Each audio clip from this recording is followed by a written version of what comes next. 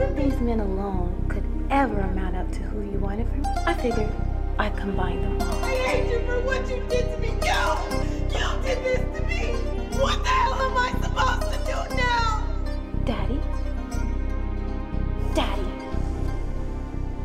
Say something.